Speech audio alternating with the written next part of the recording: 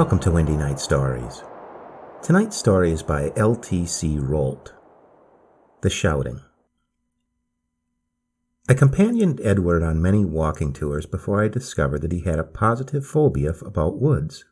There was always some very good reason why we should not go through one, though marked on the ordnance map, might peter out or turn in the wrong direction. If it was hot, there would be too many flies in the wood. If it was evening, it would be too dark. Half the fun of walking was the view, and obviously there could be no view in a wood. But at last there came a day when none of these pretexts could avail him.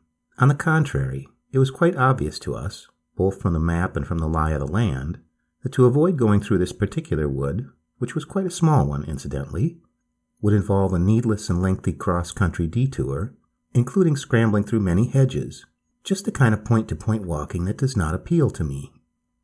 On the other hand, it was perfectly clear from the stile at the edge of the wood and the path beyond it that there lay a well used right of way. Yet Edward stopped in his tracks and, knowing there was no valid excuse left to him, said, with an unmistakable fear in his eyes, I'd rather not go through that wood if you don't mind. Come on, I said. It's only about a quarter of a mile wide, judging from the map, and if we leave the path, we're in for a hell of a scramble. Seeing that he still hesitated, I mounted the stile with a, well, suit yourself. I know which way I'm going, over my shoulder. I think it was the nearest we ever came to a row in all our time together. What followed was really very odd, and cast an entirely new and strange light on my friend. It's odd how long you can know people and yet suddenly discover that you know so little. Edward padded silently behind me, his eyes darting to right and left as though that harmless Herefordshire coppice harbored every species of savage beast, with the odd poisonous snake thrown in for good measure. But it was no laughing matter at the time, and I confess that I felt a shade uneasy myself, for it was quite obvious that Edward was terrified almost out of his wits. I was determined to get to the bottom of this unreasoning terror, and that evening in the Scudamore Arms at Combercombe, I tackled him about it. I'm sorry I persuaded you to walk through that spinney with me. Honestly, if I'd realized that you felt so strongly about. He cut me short. Yes, the truth is that all woods scare me stiff. My mother said I should never play with the gypsies in the wood, I quoted at him rather tactlessly. Edward gave me a curiously searching look. What made you say that? he asked sharply. Then he went on. This has nothing whatever to do with cautionary nursery jingles of that kind. It's due to something that happened to me only ten years ago, just before I met up with you, in fact. And then it all came out. He was staying in an isolated rented cottage in the bottom of one of those deep and narrow valleys that run to the Atlantic coast of North Devon and Cornwall. The ridges between them end in formidable bare headlands and vertiginous cliffs that jut out to meet the challenge of the Atlantic rollers. But one does not have to go far inland from the coast before their lower slopes are thickly covered with dense woods of scrub oaks, their tops combed by the prevailing southwesterlies that funnel up the valleys till they resemble a smooth green fleece. Well, Edward said he was lolling in a deck chair outside his cottage door and enjoying the hot sunshine of late July when he suddenly heard the patter of feet and the chatter of children approaching down the lane. This surprised him, as there was no village within miles. But when he saw them, he thought they must be children of gypsies who had camped near by, for they were all olive complexioned with black hair and slow eyes. They were chattering eagerly together as though anticipating some rare treat but for the life of him he could not distinguish a word they said. Could they be speaking Romany, he asked himself? Surely not. A boy, who looked about fourteen and appeared to be the eldest and the ringleader of the group, was in front, and as they passed opposite his cottage gate, Edward got up from his chair, stopped the little party, and asked their leader where they were going. Speaking in perfect English, the boy replied, Oh, we are going up into the woods for the shouting.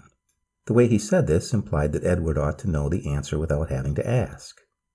But before he could betray his ignorance by asking what he meant, the boy had broken into a trot and the others, silent now but still radiating a tense expectancy, followed him. Edward watched them cross the little wooden footbridge over the stream and then mount the slope until they disappeared into the wood. Then he went back to his deck chair pondering on this little encounter until he began to doze again. He was roused by what he described as an unearthly racket, a shrill eldritch piping and shrieking rising every now and then to a frenzied pitch. So this was the shouting.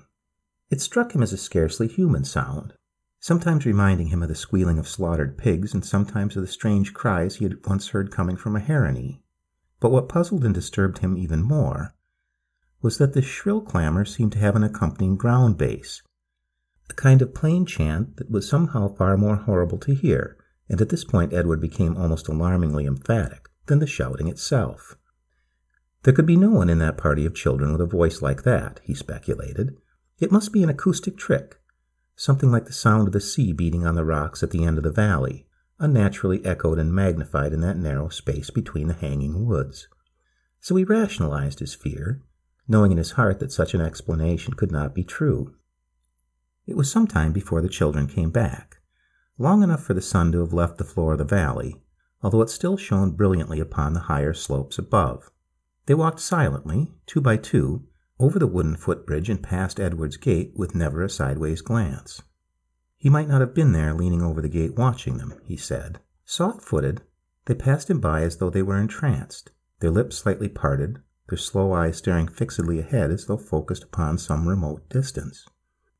Young though the children were, Edward admitted he found this strange procession very awe inspiring.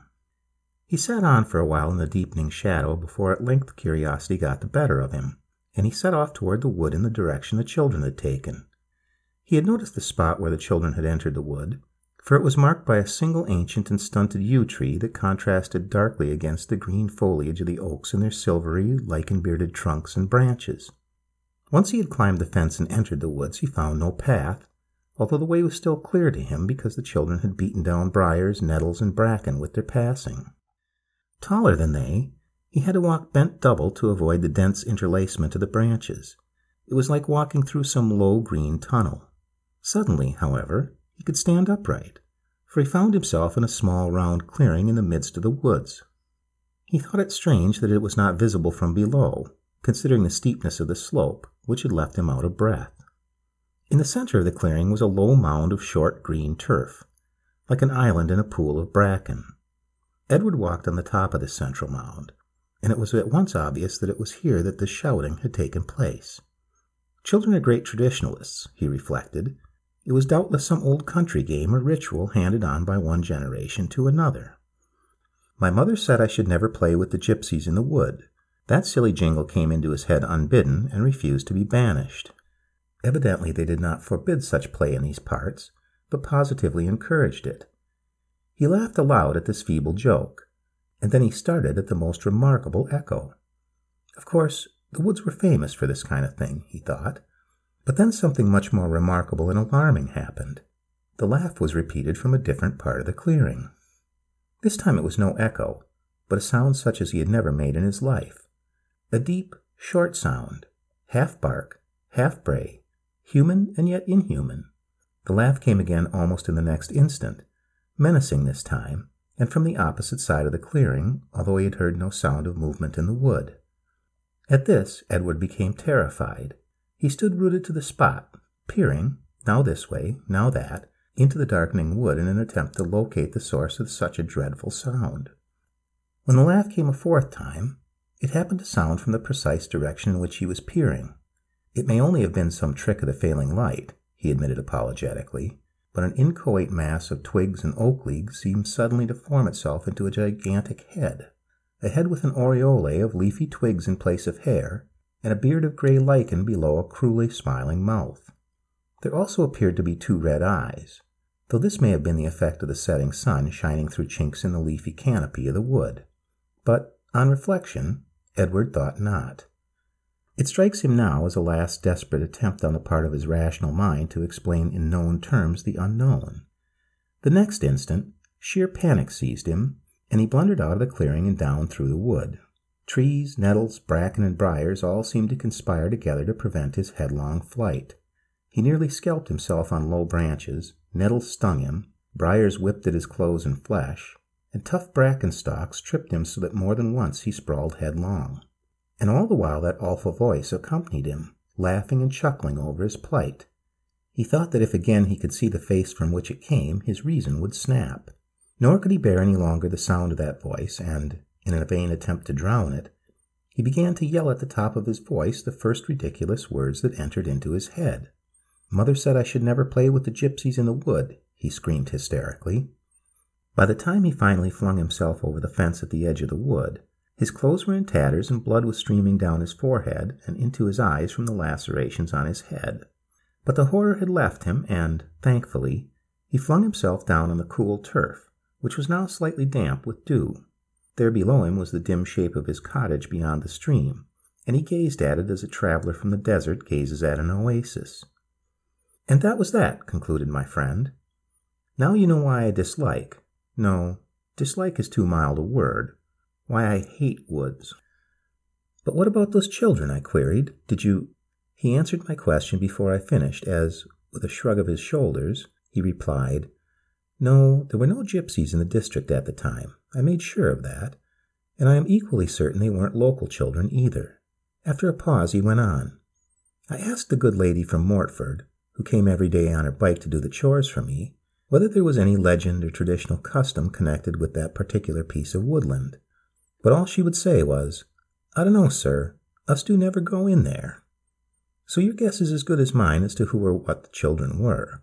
Personally, now that I have heard Edward's story, I am inclined to think they may have been the most frightening thing about the whole strange business. The end.